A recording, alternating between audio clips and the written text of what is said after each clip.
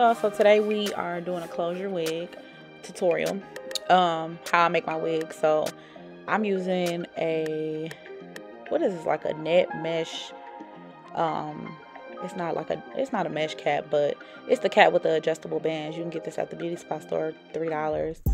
Um and basically i'm just showing you where i'm going to be laying the tracks on top of those um, bands. You don't want to sew on those bands because you won't be able to adjust the cap at the end. So you want to start when you start sewing you'll see when I start sewing but you want to definitely be on top of those bands. So we're gonna lay the closure down first because the first thing that you need to do um when you lay your closure down you want to center it. This is just a, a part only closure so it's not a full lace closure.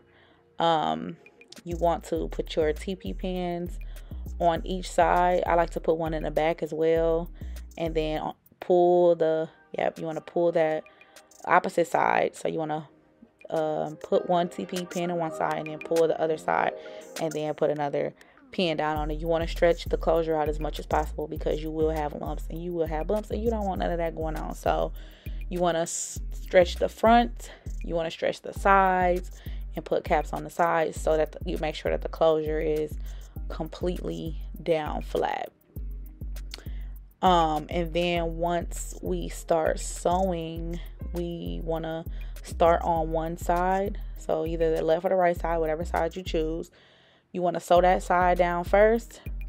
And then um, you go to the opposite side and sew that side down. So right now I'm just putting the hair up and clipping it out my way. And then I'm going to begin sewing on, I believe, the right side first. But it doesn't matter. You could do the right or the left side.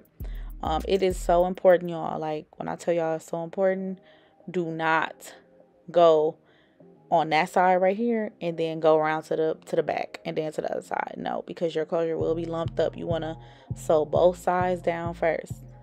Both sides down first, okay? So, um I'm just to sew my closure down. You're to see me sew this side then the other side. And then um I'll be back when I need to say something else. but it's pretty much self-explanatory from then, but you can just kind of watch and see what I'm going to be doing.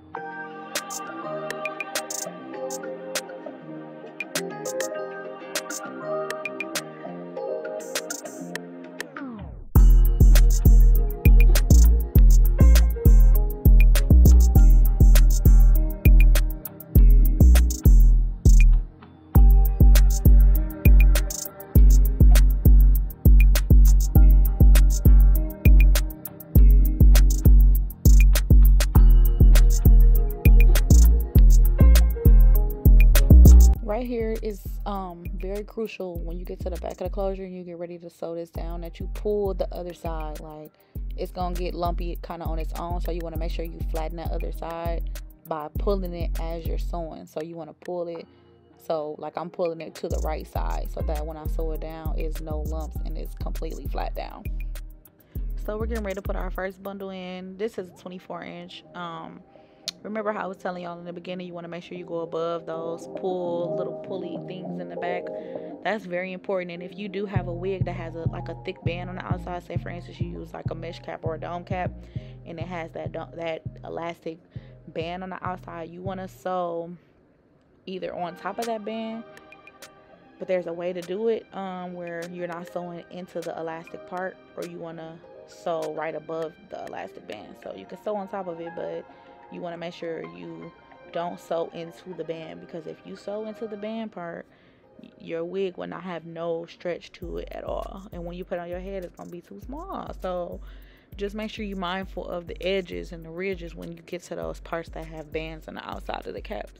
If that makes sense. I know that's kind of hard to explain, but yeah, girl, stay off the bands. Just go on top of them. If if you don't know how to sew through them without sewing through the elastic, just stay on top of them. And when you start sewing your bundles in, I like to sew from ear to ear and um through the back just keep going across across across. And then once you get past the ears you just want to go from like temple to temple. Um and then you just you literally just sewing back and forth side to side side to side side to side. Just making sure that you're you're even and you're level from the left to the right side. And then you just repeat that with every bundle until you get to the top of the closure. Um and then I'll tell you what to do from the top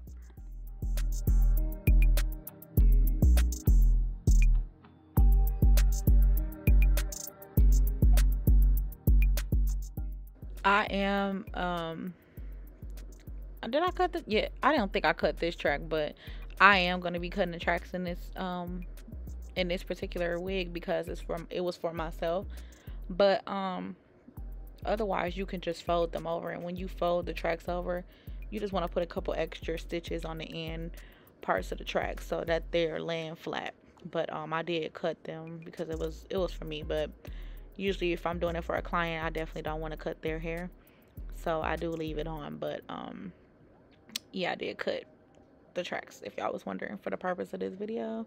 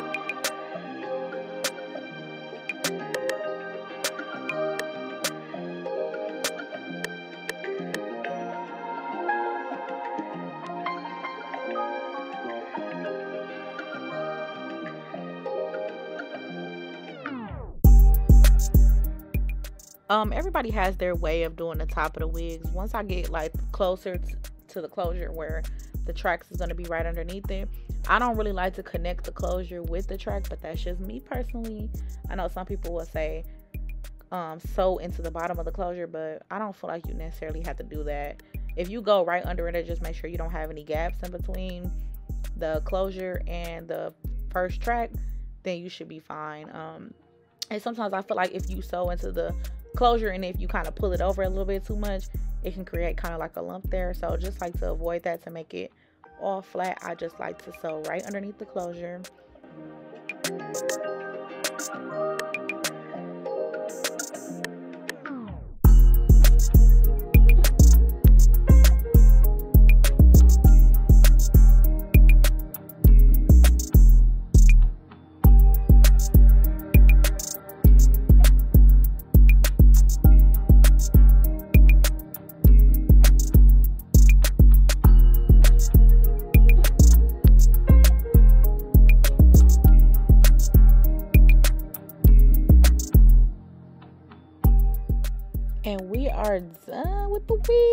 I do have a video that up- that I uploaded before this with the crimps. Um, but this is how I made my make my closure wigs, y'all. It's very simple. I actually had a video of me straightening the hair out, I think, but I lost it somehow, some way. So I just um uploaded this little clip here, and this is pretty much all I got. But yeah, this is the end of the video, y'all. It's real easy. Like you just sew side to side. That's it. Y'all see how I did it? Like it's nothing to it but to do it um, pluck that part, flat iron that, put that thing down on there, and you good to go. So thank y'all for watching. Please like, comment, and subscribe. I'm still new to this editing stuff, y'all, but uh, y'all keep rocking with me. You know, we gonna keep we gonna keep doing it. But look at the waves. She cute in a body wave. I actually left her. I think I might have left her body waves. If I can insert like a little clip of me with it on, I will. But because I put it on for my birthday. But yeah, she cute closure wig tutorial. Thank y'all. Subscribe. Appreciate it.